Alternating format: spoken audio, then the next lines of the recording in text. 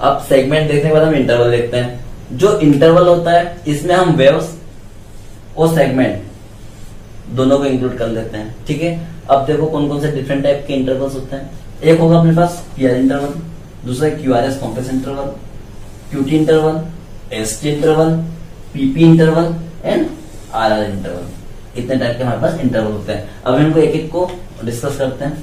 अब PR interval का हम देखते हैं, इसका जो टाइम होता है वो पॉइंट वन टू से पॉइंट टू ज़ीरो सेकेंड का होता है। ठीक, इसको हम डिसीज़न देते हैं, कहाँ से, कहाँ तक का इसमें लेते हैं। तो ये मान लो ईसीजी है। ठीक तो इसको हम लेंगे पी वेव के शुरुआत होने से, यहाँ से, ये पी वेव है। पी वेव के बिगिनिंग से क्यू आर एस की बिगिनिंग तक, ये। ठीक, ये हो गया हमारा पी आर इंटरवल अब प्यार इंटरवल का जो टाइम होता है, वो हार्ट रेट के साथ इनवर्सली प्रोपोर्शनल होता है। कैसे? जब हार्ट रेट बढ़ेगी तो प्यार इंटरवल कम होगा। सेम ऐसे ही, जब हार्ट रेट कम होगी तो प्यार इंटरवल बढ़ेगा। ठीक है?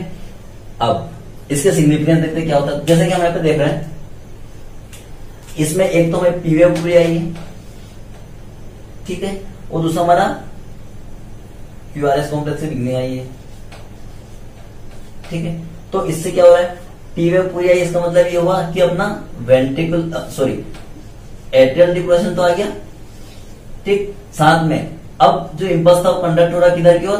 वेंट्रिकल डिपोलाइजेशन की ओर। मीन वेंट्रिकल डिप्रेशन हुआ तो नहीं है, क्योंकि बिगनिंग ऑफ़ क्यूआरएस पे अपना इंटरवल खत्म हो गया।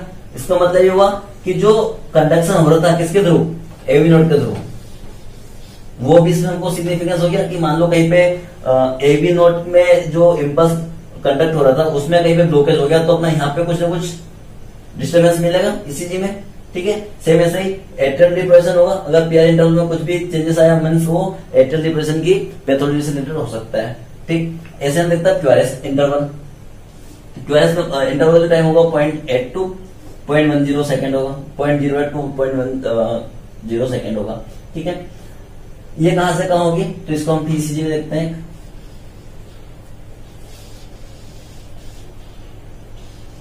ठीक है, ये मान लो ईसीजी है। ये होगा कहाँ से? क्यू है की बिगनिंग से। मतलब ये क्यू है, ये आर है, ये एस है। ठीक है? तो beginning of Q from ear sir J point J point का तो नहीं आता है। तो यहाँ से यहाँ तक का टाइम होगा क्या आएगा अपना? क्यू आर एक्स होगा। ठीक है? अब इसका सिग्निफिकेंस देखो। अब हम देख रहे हैं कि जैसे इसमें क्यू आर एस पूरी वेव आ गई है और हमने देखा था क्यू आर एस क्या डिनोट करती है?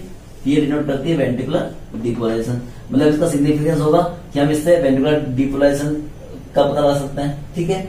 और दूसरा होगा अब। जब यहाँ पे खत्म हो रहा है जे पॉइंट पर तो यहाँ से क्या चालू हो रहा है? वेंटिकल डिपोलेशन चालू हो रहा है बाद में, क्योंकि जब टीवे बात क्या शो करती है? वेंटिकल डिपोलेशन शो करती है। ठीक है? तो यहाँ से अपने वेंटिकल डिप्रेशन के बारे में भी पता चल सकता है कि इससे कोई अगर डिसीज होगी तो हमको ये जो क्यूआरएस इंटरवल होगा, इसमें अप डाउन मिलेगा। अब हम एसटी इंटरवल देखते हैं। एसटी इंटरवल का टाइम कितना होता है? पॉइंट थ्री टू सेकेंड का होता है। ठीक? ये कहाँ से इनिशिएशन होता है इसका और कहाँ पे, कहाँ तक चलता है? तो ये इसका स्टार्ट होता है जे पॉइंट से। ठीक? वो कहाँ तक चलेगा? एंड ऑफ़ टी वेव तक। अब, जैसे हमने देखा था कि जो टी वेव कहाँ पे आती है? बताओ।